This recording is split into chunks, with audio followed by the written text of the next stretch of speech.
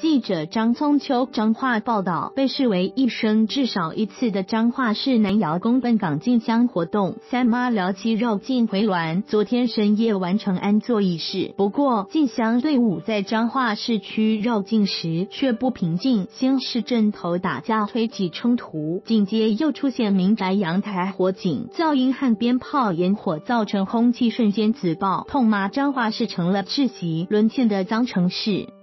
南窑宫进香队伍从昨天下午到深夜时段，在彰化市区绕境。昨晚约八点多，队伍抵达三明市场中明街一带，疑因道路狭小，引发阵头推挤冲突，两派人马当场互殴，有人赤手出拳头，还有人拿着安全帽猛殴另一方，场面一度失控。警方发现赶紧介入，并高举手枪，才停止冲突。冲突的画面被民众上脸书黑色豪门企业，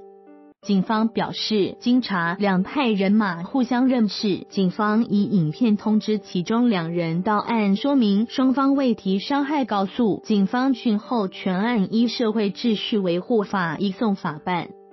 打架事件平息后，进香团队伍继续行经。约昨晚九点多，行经彰化市长新街口一带，有民众拿手机拍摄当时大量燃放鞭炮与烟火的场景。突然听到有民众大喊“烧起来”，民众一看，竟是一处五楼民宅的阳台火烧。民众直呼太离谱了，连阳台晒棉被衣物也会无辜遭到祝融之灾。